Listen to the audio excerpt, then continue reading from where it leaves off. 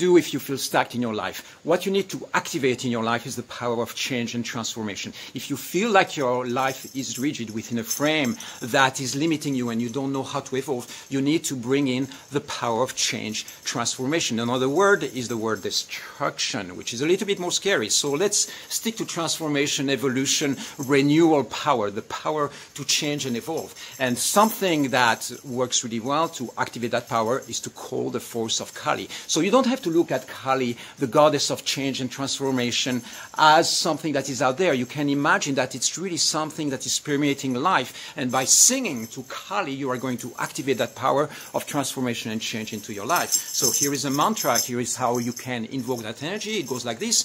Kali